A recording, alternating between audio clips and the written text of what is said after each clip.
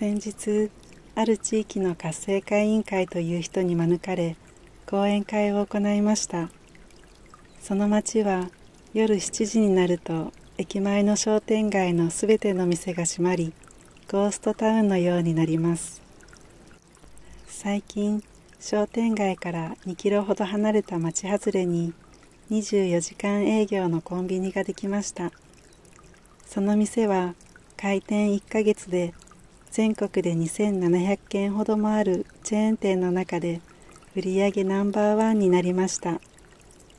そのような事実が分かっているにもかかわらず委員会の人たちはどうしたら商店街は活性化するかと悩んでいるのです。なぜもっと商店街の営業時間を長くしないのでしょうか。お客さんに喜ばれることをしないのでしょうか。試しに喫茶店1軒でいいから夜12時までやってみるといい。そうすればその喫茶店に人が来て喫茶店の左右の文具店にも人が来るようになるかもしれません。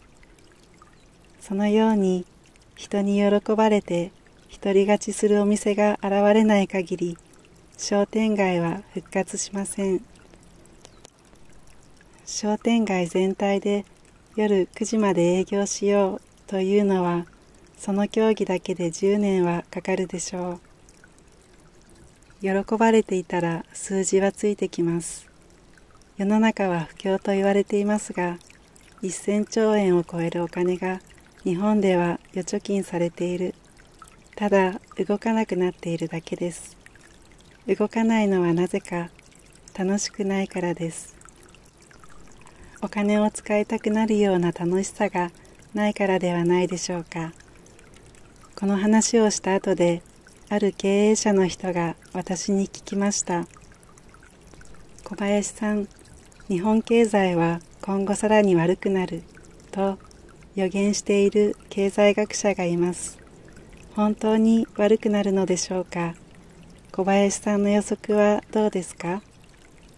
私はこう言いました。あなたは何を聞いていたんですか？日本の景気はあなたの商売には関係ありません。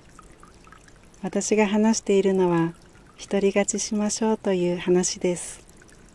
世の中の景気の良し悪しに関心を持つ必要はないと思います。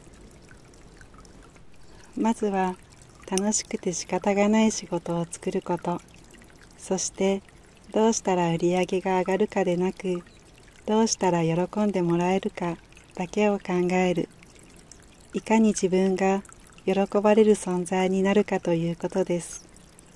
不況でも独り勝ちしている人は山ほどいます。